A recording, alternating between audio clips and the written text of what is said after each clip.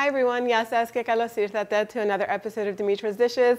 Today I'm going to be making a spinach and feta salad that's going to have many of the flavors of spanakopita in a salad version. Sometimes salads can get a little old and boring, but this is going to go great with really anything as a side. You can serve it alongside chicken, lamb, any leftovers that you have from the night before you can put on top. It's so delicious and so simple to make. Let's get started. So I'm gonna begin by making the phyllo kind of like croutons that are gonna go on top of the salad.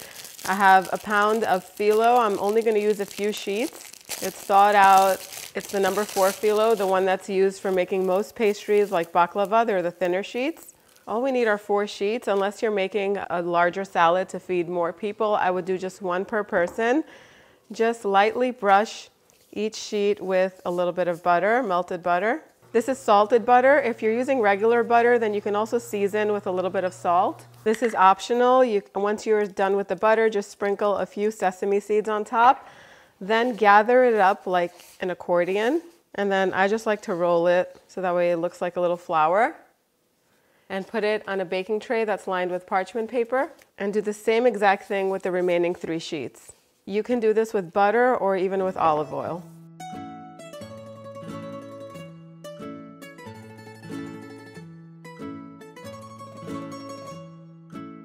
The remaining phyllo should be quickly wrapped up and then covered with either a slightly damp kitchen towel or you can wrap it with some plastic wrap and it can stay refrigerated for a few days and to be used for another recipe. Just brush some butter over the uh, little roses and bake them at 400 degrees Fahrenheit for about 10 minutes or until they're golden and crisp. So while the phyllo is baking, you can go ahead and make the dressing, which is so simple to make. You're going to need a little bit of olive oil, about a quarter of a cup. Really, really good quality olive oil. We have some in our shop. Balsamic vinegar. I'm using the balsamic dressing that's from our shop. It's dark balsamic. Uh, it has a little bit of petimezi in here and rose oil. It's so good. About three to four tablespoons. And since this is already lightly sweetened, I'm talking about the balsamic dressing, I'm just going to put a tiny bit of honey it's just going to help thicken the dressing and sweeten it a little bit more. And the dressing is ready. I have baby spinach leaves here. They're already washed and dried. This is 10, you, you need about 10 to 12 ounces of them and about four or five scallions.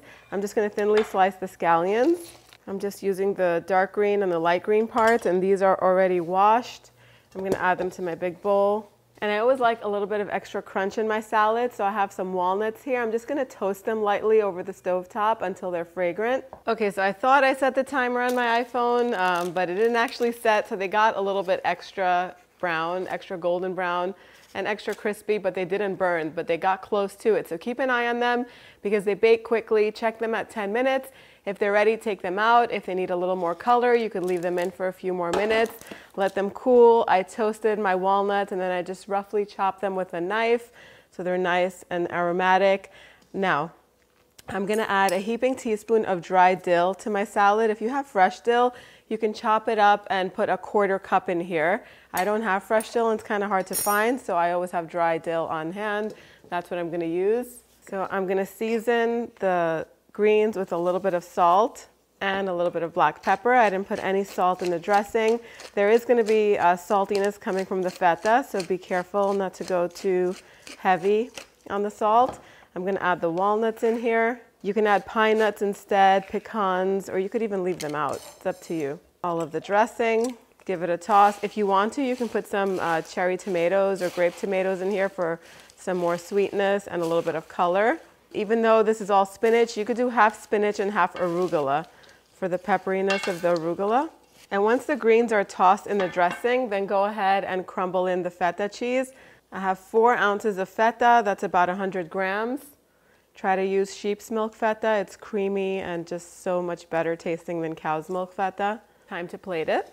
I just like to pile it high in a plate and then put the phyllo rows on top. You could even break it up if you want to. See how crispy it is? And that's it, it's ready to eat. If you want to add more flavor to the phyllo rolls or the phyllo flowers, phyllo croutons, and uh, you can also add some grated Parmesan cheese to them before you roll them up, or even some kefalograviera, whatever you have on hand time for the taste test. Mmm. The spinach is so fresh, goes so well with that slightly sweet balsamic dressing and the creamy feta, the creamy briny feta. Let's taste. Mmm, the phyllo is flaky and buttery with a little hint of salt and so nice and crisp. This is such a fancy salad to serve at a dinner party, or you could even serve it on a busy weeknight to your family.